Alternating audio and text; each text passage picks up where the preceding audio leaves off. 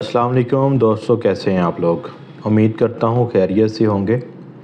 آج ہم لوگ ڈسکس کریں گے کہ آپ نے گیمکا کا ٹوکن لیا اور اس پر کوئی مسٹیک ہو گئی آپ سے۔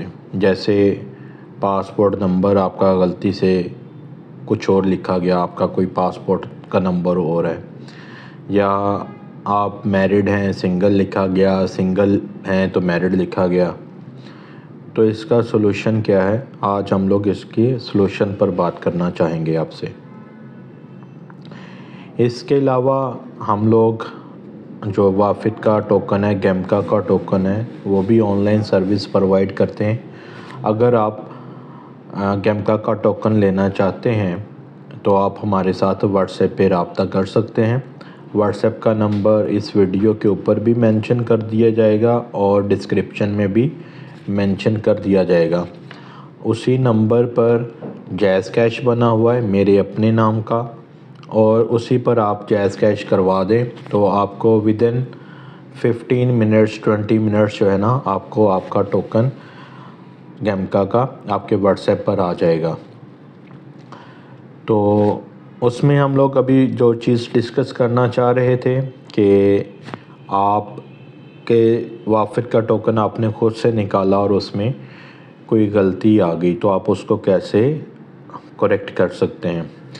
اس کے لیے جو وافد کی ویب سائٹ کے اوپر انہوں نے مینشن کیا ہوا ہے، گیمکا کی جو آفیشیل ویب سائٹ ہے، اس کے اوپر انہوں نے مینشن کیا ہے کہ جس لیبارٹری کا ٹوکن نکلا ہوا ہے، آپ اس کے پاس جائیں، ان کے، ان سے آپ ملیں اور ان سے ریکویسٹ کریں کہ یہ ہمارے سے مسٹیک ہو گئی ہے، یہ ڈیٹا ہم نے غلطی سے گیمکا کی آفیشیل ویب سائٹ پر جو ڈیٹا دیا گیا ہے، جس کے اوپر مینشن ہے، وافد کی ویب سائٹ پہ مینشن ہے کہ آپ اس لیب پر جائیں جہاں کا ٹوکن ہے۔ آپ ان سے بات چیت کریں، ان سے کمیونیکیٹ کریں کہ یہ ڈیٹا ہم سے غلط انٹر ہو چکا ہے، تو اس کو کریکٹ کر دیں۔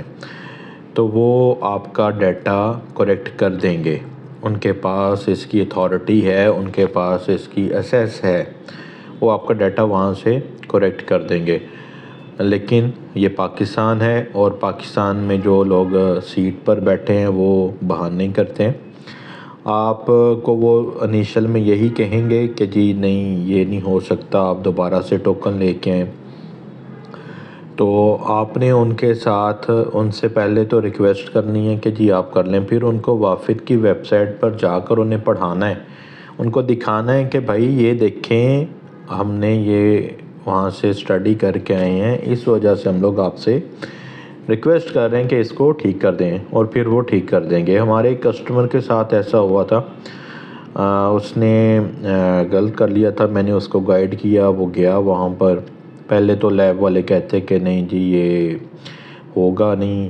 پھر جب اس کے ساتھ بات چیت کی، کچھ ٹائم ٹیکنگ پروسیس ہوا ان کے کہہ لیں کہ اچھی خاصی بحث ہو گئی، تو پھر انہوں نے اس کو ٹھیک کر دیا۔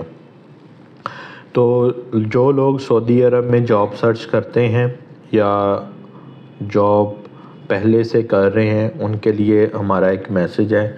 اگر آپ سعودی عرب میں جاب کے لیے جانا چاہتے ہیں تو میڈیکل کا کوئی بھی مسئلہ مسائل ہو، آپ ہمارے ساتھ رابطہ کر سکتے ہیں۔ ٹوکن آپ نے لینا ہو تب بھی رابطہ کر سکتے ہیں۔